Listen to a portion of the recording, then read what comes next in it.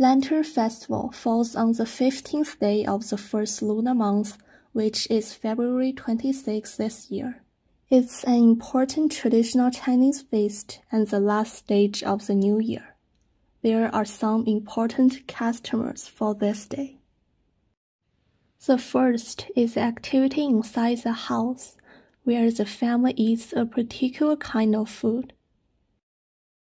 Every Lantern festival, my family sit together and eat this yuan xiao. This is not our family tradition, but also the tradition of all around the China. Yuan xiao is a kind of dessert made of glutinous rice. It is often filled with black sesame seeds or sweet bean paste.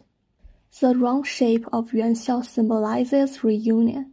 It is one of the most favorite foods for Chinese people.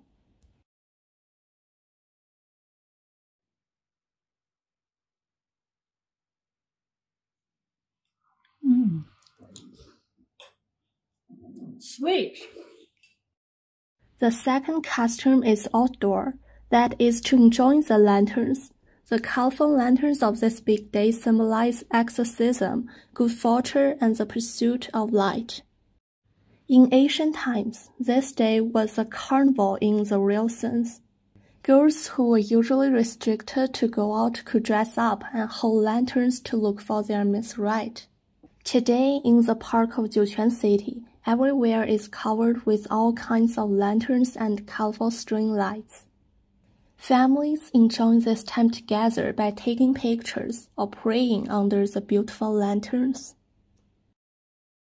On this day, the happiest are the children.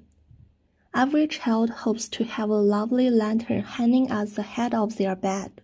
It is believed to bring peace and good luck to the family. Asian lanterns were more elaborate.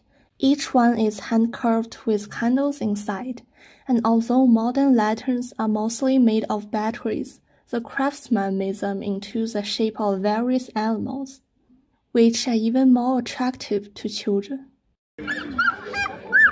This is Haomiao Lu in Jiuquan, China, reporting for Tiger Media Network.